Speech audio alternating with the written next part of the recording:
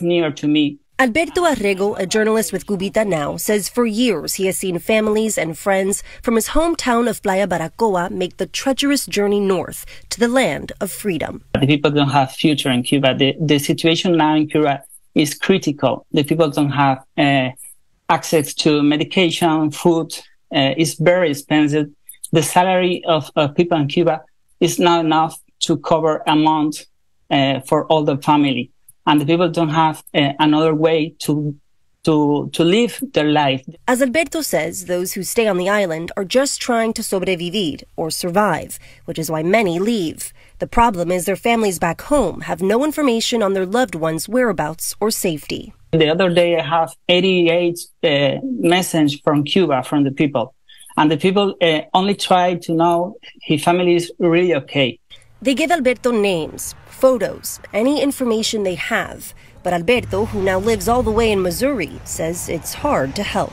Right now in Dry Tortuga, uh, for the uh, videos, a few videos, only the work house pub, uh, have published, uh, you see so many uh, ships in Dry Tortuga, only in Dry Tortuga, and it's impossible now where the ship uh, arrive in the United States it's why he's relied on Erick Diaz. Seeing the desperation and most of all seeing the joy once the family find out their their family are fine is is like a fire. The founder of Barcos por la Libertad, or Boats of Freedom, has been posting pictures of stranded vessels since August of 2022.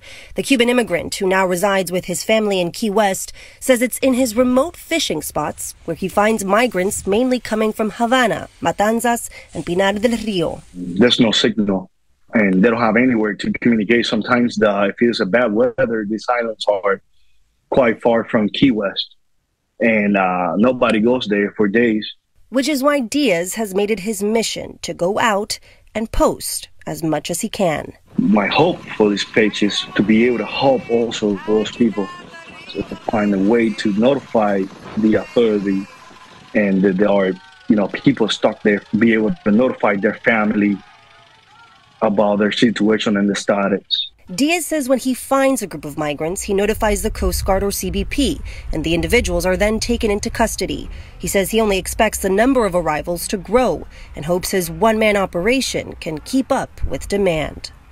Sophia Hernandez, Florida 24 Network. Back in December, Florida Congress members Maria Elvira Salazar, Mario Diaz-Balart, and Carlos Gimenez took up this issue with the federal government. They asked the Department of Homeland Security to implement a system where family members and legal representatives can locate and get information on Cuban migrants at sea. As of Wednesday afternoon, there has not been an update on the progress of their request.